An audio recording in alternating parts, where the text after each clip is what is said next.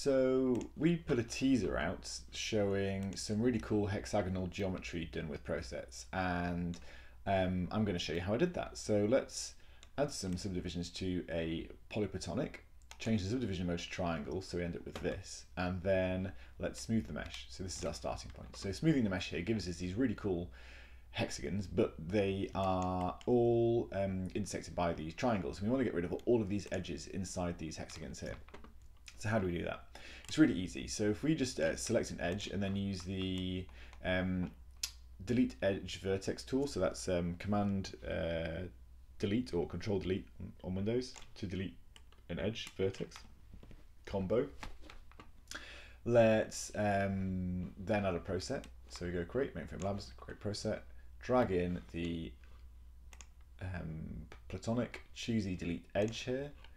And then um, what we're going to do is we're going to start off with vertices. We're going to select the vertices uh, that are in the middle of each of these um, each of these hexagons, and then we're going to convert that selection to edges, which will give us all of the internal edges, and then we're going to delete those.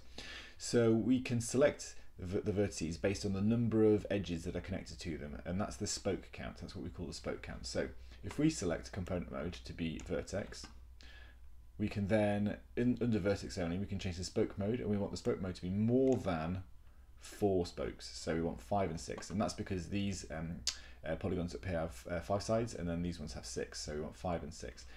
And then what we can do under utilities is we can convert the selection to edges, and then hey presto, we're done.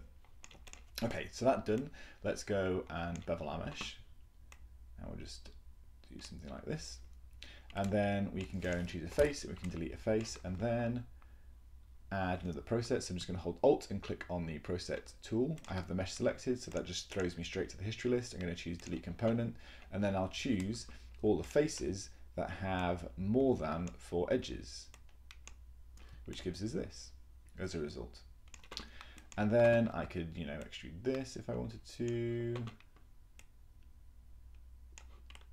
like so.